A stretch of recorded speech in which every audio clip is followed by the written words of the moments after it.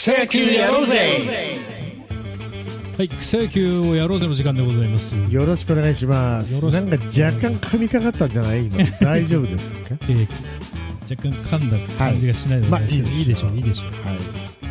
ただいまは、はい。えー10月17日のはい。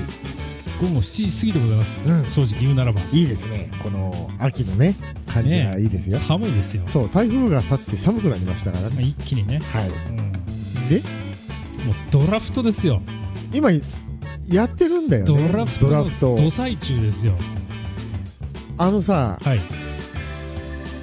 何？1億分の1ぐらいはさこの携帯にかかってくる可能性もあるんだよねあるよ。あるよ。あるよねっていうか、あるよ、毎年。そうだよね、ええやってる限りはしてないされてないあ、そうなんだ。うんなんだ。まあ待ってることは待ってるけど、はあ、そう。これは3球団ぐらい来た電話。い、マジで？うん。あの、行くかもしれないから、その時よろしく。なるほどね。ええ。頼むよと。そうかと。監督とちょっとあのあれしなくていいわけ？なんか監督にお金入るんでしょ？あの契約金みたいなやつ。ああ、私を育ててくれたそうそうそう人たちねそうそう。あれはちょっと指名された金額によるわ。あそうなんだな、あ契約金が多かったらちょっと。なるほど。で今年はどうなってんの？今年はさ、はい。まだ全部は終わってないんだよ、現段階で。1位はもうい回ったのかな？1位は終わってるみたいだな。終わってる。うん。その今年の目玉は誰なんだ？ビッグ3と呼ばれてる人たちがいるんですよ。ちょっと待ってドラフト速報みたいなのちょっと見てみましょうか。ビッグ3はい。で、えっ、と、星稜高校の奥川君。はいはいはいはい。なんかよく聞きますよね奥川。彼は、はい。競合の末、我がヤクルトのに入りますよ。ヤクルト？ヤクルト我々のあのヤクルトですか？我々のヤクルトですよ。はいいいですねで、もう一人、あれですよ。大船渡の佐々木君。はいはいはいはいあの有名なねはいはいはい。はい佐々木君は、ロッテロッテだ。うんロッテかダメですか？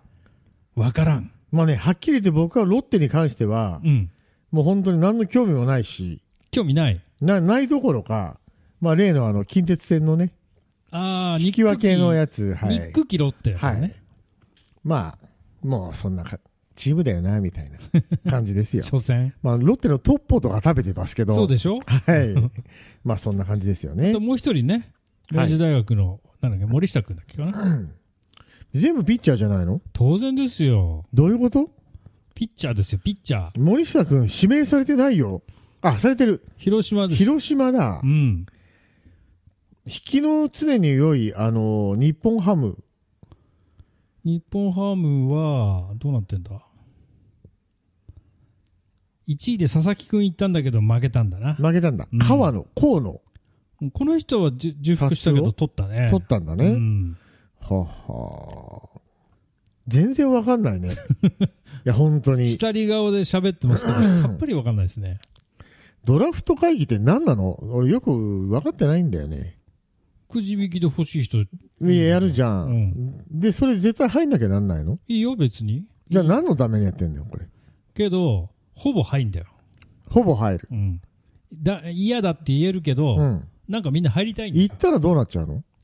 入んないって？今年はもう終わりなの？その人は。そうそうそうそう。来年またおいでみたいな。なんか来年、うんいけんだっけかな？来年もいけんのか？地獄の制度じゃねえかよそれそうだよ、だから、いろいろ問題大問題だて。って普通に考えたらさ、うん。あれよ？なんだかわかんない女に告られて、えああ、じゃあ、みたいな、付き合いましょう、みたえいな。そうですね、そうですね。拒否権ないっていうことでしょ？これおかしいだろ。職業選択の自由的にどうなんだっていう指摘がやっぱりありそうだよありましたねね。職業選択の自由って何で保障されてんだよ？なんだっけ？憲法憲法。憲法っていうのはさ、え国が守んなきゃなんない法律だからさ、我々が犯しても別に、お咎めはないんだよな。えああ、そうなの？そうなんだよ、そうなんだよ。あれは国向けの法律だからさ。そうか。だから、ドラフトはあれなんだな？ダメなんだな？どうなんだっていう。誰も、なんていうの？もう国が悪いって話になっちゃそうそうそう。そうなん そんな方向、そんな大事なのかよっていう。最近いないね、あの拒否する人ね。やっぱ下交渉が相当進んでるっていうことかな。ああ、もう事前にね、まあ、うんちょっとうちやりますちょっと前はね、いたよよね。いたいた強絶対嫌だとか言ってあの、あれか、巨人の菅野とかね。そうそうそう。江川とかそうじゃないの？映画もそうでしたね。ね清原とかもなんか裏切られて泣いたとか。ああ、あと元木とかね。そうだよね。最近だとなんだろうね。うん。まあ、まあそうだけど、うんたださ、その、まあどこに行っても同じなのかって話もあるよな。同じなんだろう？同じなんだよ、多分。あるとは言うよ。うんうんうん。要するにほら、金満球団と貧乏球団とかさ、うんあと、社風みたいなのもあるとは思うけど。あるでしょうけど、まあ、やってることはね、特にピよくッチャーは。よく言うのは、プロ野球企業に入社したとそう思って、いうことだよね。あと部署とか支社がなんだと違うってことだよね。いう話もありますけどねう。ん移動だってあるでしょう。そうだよね。で、この奥川さんという人はどういう人なんですかね？これはもういいピッチャーですわ。なかなか。勝ったの？優勝？優勝したんだっけ？知らない。星稜高校。何がすごいわけ？星稜高校優勝したの？知らない。な、何がすごいわけ？球も速いしさ、なんか、球速いんだ。球速いんじゃないの？ははで、コントロールとか、なんか完成されてる感はあるななるほど。ね。そうなんだ。で佐々木くんっていうの？佐々木君はさ、うん球速いんだよね。なんか160キロとか出るとか言って。ただなんか、すぐ痛い痛いっていう、こう、いちょっと弱いのよ。自分の限界を超えとるやんけ、それ。うんなんかね、いろいろね、なんか豆ができてやめたとか言ったもんね、なんかね。ちょっとね、弱い感じがしないでもないですけどね。ただ、どうなんですかね。でもあれなんでしょ？大船渡地元でずっととどまってんでしょこの人は。違うの？そそうだね。そうだよね。うん。偉いね。偉いね。うん。なかなか、これさ、だけど、今年のドラフトはさ、なんかこう、お、お大当たりと言いますか、こう、誰もマークしてなかったような人がドーンと指名されたりするのが楽しみっていうかさ。まあ皆さんが配信を聞いてる時にはいるかどうかあれですけど、なんかあの、独立リーグの人が3位ぐらいで指名されてましたけど、なるほどね。すごいよね。でもさ、これってやっぱおかしいなと思うのはさ、は例えば1位に指名したかった人が他が指名したから、じゃあもうしょうがない。こいつ1位にしようかなっていうのがさ、はい。ありありと分かっちゃうんじゃないの？そうそう、皆さんにい分かり、いやわだよね、それね。お前に振られたから、じゃあ次お前。そうそうそうそうってことだよというね。ことですけどね。それでも、だけどほら、あの、あいつですよ。ヤクルトのはい。何？ヤクルト。山田君。山田君ね。あれは外れ外れ1位かなんかだから。そうなんだ。それであの状態だもんね。2人振られて3人目で1位で取ったんじゃなかったかな。一郎とかはどうなんだっけあの人はす、ん？なんか3位とか5位とか、ド5ラフトにはかかってることはかかってんだな。けどやっぱり、バカ活躍じゃなかったからな。やっぱあれだよ。ね、その、高校の時の良さを、まあだ大学でもいいんだけど、うん。点で見ちゃダメだな、やっぱな。あれさ、なんだよね。そうだな。あとはあの自分のチームのさ育成能力とかもあんじゃん、まあそうだよね。なんか下手くそのチームありそうだもん潰しちゃってね、ダメにするとか絶対あるよね。あの当該チームのファンには本当に恐縮なんですけど、はい。俺中日とかやっぱ下手そうな気がすんだよね。中日ね。うん。まあ、なんていうの、よくわからないよね。そもそもさ、どこまでが中日で、どこからが阪神の住み分けすらもわかんないもんね、向こうの方。えどういうこと？だからさ、中日ファンってどこまでなの？あの、ああなんかに、あの西の、なんて限界は。まああんまりどうなんだろうね。関係ないのかな？岐阜とかどうなの？岐阜は中日か。中。日でしょうね、まあまあ、じゃあ滋賀、滋賀は？滋賀とか京都とかはまあ阪神になっちゃうのね。なるほどね。こっち側どこまで食い込んでんのかね？静岡？ああ静岡の人はどうなんだろうね。ねえ。まあ静岡の人は横浜じゃない？山梨は。山梨の人は野球見ないのかも見てないと思う。新潟とか桃とかこう栽培して。やっぱ栽培もしてるでしょうけども、はいぶどうとか。そうですよ、ぶどうとかね。ええで、新潟にはよくだからあれですよね。プロ野球チームがないから、はい。あの、次球団できるとしたら新潟なんていうのはね、随分いや、新。潟ってさ、うんスキー行くとさ、ええあの、関東弁と関西弁がさ、入り混じってんだよね。びっくりするよね、あれ。京都とかね、あちの方から来たりとか、可愛いいんだよね、女の子はなんか関西弁で。リフトとか待ってる時ギャーギャー言ってて可愛い感じなんだよね。驚くよね、なんかね。はっは今年も指名されなかったなねえ。ソフトバンクは佐藤？佐藤ですよ。1位？はい。誰でせう？外野手佐藤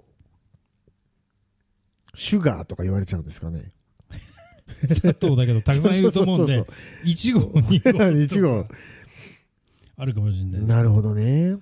あれですね。50メートル5秒9だって、俺と同じぐらいだね。本当だなあれだぞ。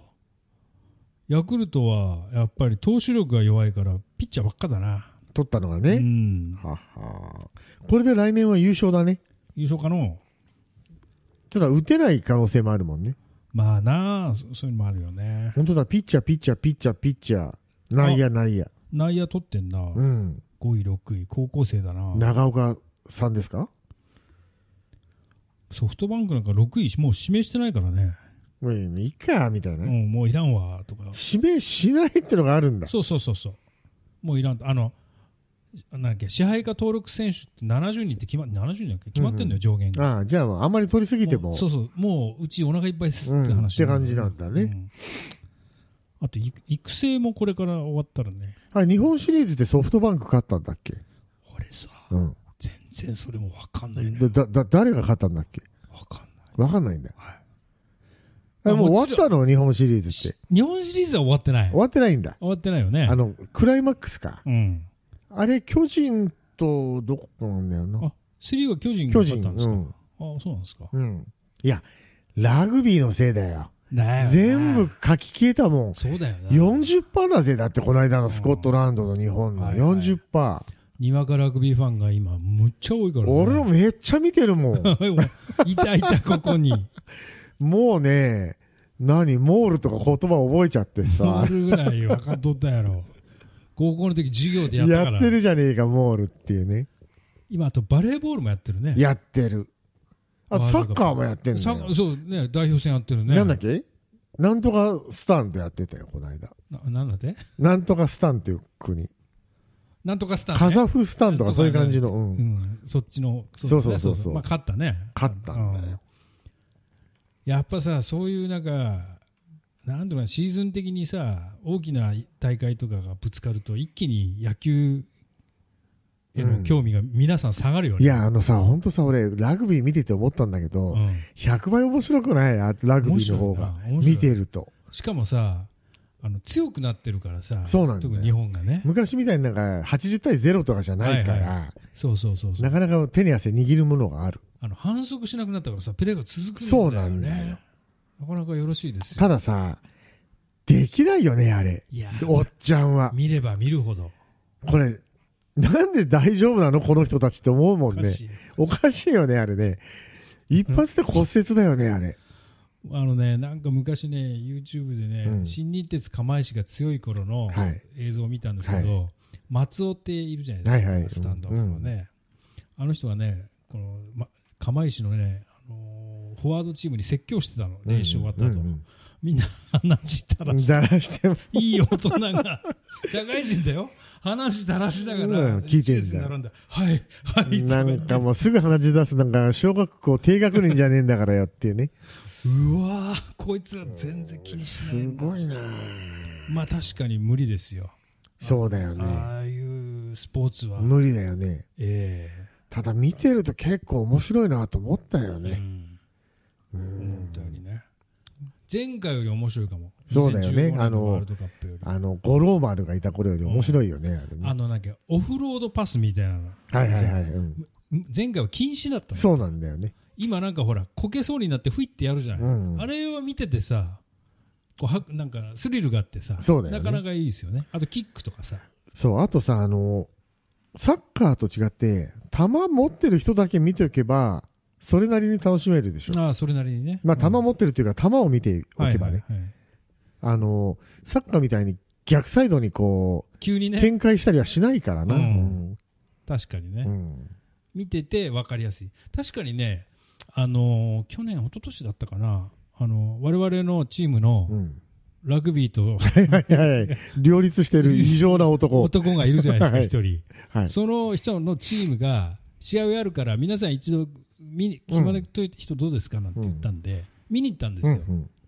試合をね。はいまあアマチュアのラグビーですけど、はいもちろんね。思ったより面白かったのよ。そうなんだう。ん。なんだろうな、なんで面白かったのかな。不思議なんだけど、うんあの、やっぱりあの、この、なんていうのかな、ひある選手が持つと、一気に陣地を挽回するスペシャルな選手がさなるほどね。いるわけやなぜか人形が向こうも崩れ。もうね、ある、一瞬にして切り裂くわけ。その人が。うんそれを見てるとね、やっぱり、なんかな、なるほどね。が下がるというか、気持ちよくなるんだよ。いいね。うん、あれ面白かったね。なるほどね。そっか。なんかさ、あの、ラグビーのさ、あの、実況見てたんだけど、リアルタイムで見てるときはう、ん。まあ、某テレビ局だったんだけど、うん。もう全然実況中継してる人がダメでさ、はあはあとなんか15分耐えれば引き分けでいけますとか、そんなことばっかりずっと言ってんあ。の。あいや、そんじゃなくあ。いやいやて、いやいやっていう感じ今、のやってるのを解説せいって思ったんだよね。うんうん。で、NHK でたまたま録画してんのを見たら、いや、うまいんだよね。解説が？解説がびっくりして、こんな違うんだと思って。誰がやってたんだろわかんないけどさ、う。あのもう首だよ、首、首。だからさ、いや、そんなに球がいないんだろうな。まあそうだよ。そうそうそうそうそう。あただなんか、積もるともうなんかさ、あと、負けでもなんか、なんとかの、あれによっては、あの、決勝に行けますとかさ、あ。うんうん。いや、そんなこと言うなよ、負けちゃうよ、そういうこと言ってる。要するにね、だから裏解説をしてんですよ。そうだな。あの、わかんないから、うん。正面から行くと。そうだよね。それはいけないね。いけないよ逃げだね。逃げだよ。うん。は勝つと思ったら負けるっていうのが、この、日本人の感覚じゃないですか。いはいはいはい。そうそう。そうでしょ、うんなんかさ、あの、なんか、つれづれ草でもさ、矢は2本持つなみたいなのがあるじゃん。なんか、もうおろそかになるからとか言ってさ。はいはいはい。それなんだよね。なかなか、だからドラフトも、なかなか、ドラフトじゃないや。プロ野球もね、うんのポストシーズンも、なかなか厳しいもんがありますよね。厳しいですよ。このままでいいんでしょうか？みたいな。そうですよ。ただドラフトだってさ、やっぱり家ではさ、どっかに行きたいっていうのはあるわけじゃないですか。お家の、なんか、んなんかさ、家では行ってんじゃないの？親とかでさ、はいはいはい。あそこに行きたいなとかさ言ってるでしょう。ね、言ってるでしょう。で、実際わけのわからんところに指名されると。うん。もう、厳しいね。じくじたるものがあるでしょ。あるでしょだマー君とか俺すごいなと思ってさ、う。おうあの時楽天ってできたばっかりだったじゃん。もう、もうポロポロですよ。なんだかわかんないけど、なんか喜んで言ってたじゃない。うん、どこでもいいすって言って、げえなと思ってさ。どこでもいいって言って本当にペロッと入ったね。そうそうそううんそう。あの男はもうすごいと思った。大したもんだ。巨人じゃないと嫌だとかダーダーをこねることもなくね。はいはいはい。うんで、一応ね、8勝か9勝したんだっけ ?1 年目で、そうでしょで、2年目とか異常な数勝ってたでしょなんかそう。3年目だっけ？なんか。なんかな、んか黒人リーグで109勝とかしてる人いるらしいけどね、なんか。今？1年で。あの、対戦前。?1 年で？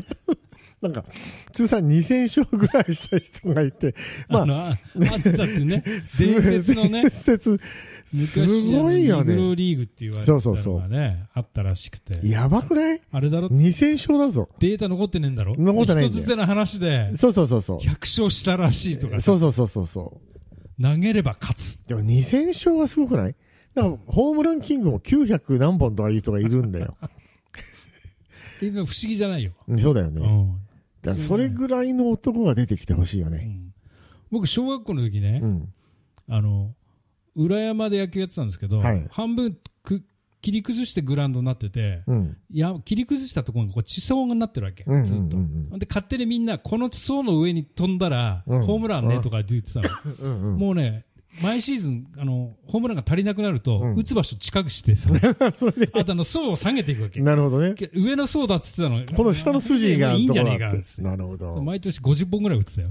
ホームラン。うん。らそういうの入ってるかもしれないよね。もう、そうですよ。2000勝だから。野球のグラウンドってさ、うん広さバラバラなんだから。そうなんだよ同じこね。とだよ。あんなルールないよね、普通。あれ、サッカーもそうじゃなかったっけ？サッカーもちっちゃいとことかあんの？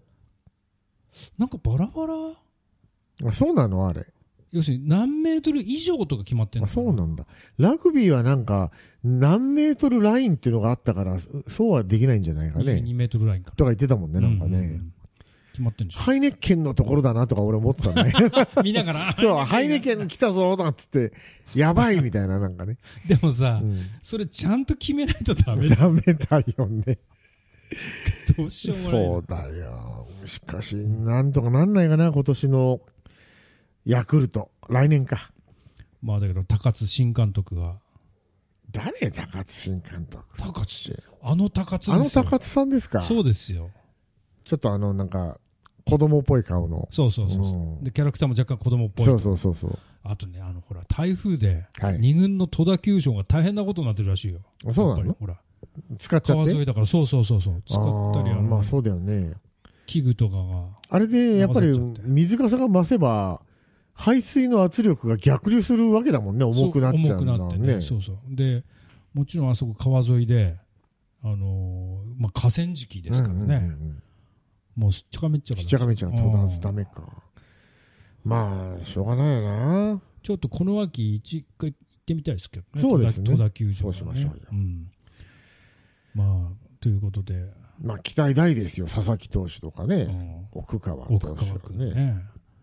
まあ残念ながら我々は指名されなかさっれなかったたんですけけどもね。まあだからしょうがないよ。来年に期待しよでも、あの、なんだっけ？メジャーの最、なんか最高齢59歳かなんかでなんか、登板した人いますからね。うあそううん、無失点に抑えたわけですよ。あそう59だよ。まだいけるよ。